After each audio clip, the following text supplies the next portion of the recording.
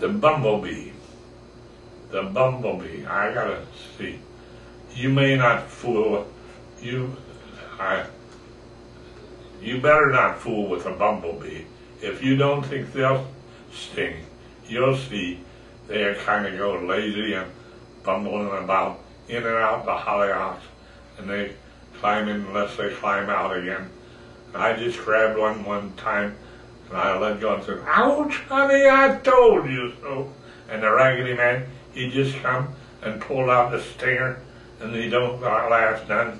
And he says, "There has been folks, I guess, that thought I was prejudiced, more or less, but I still maintain that a bumblebee wears out his welcome too quick for me."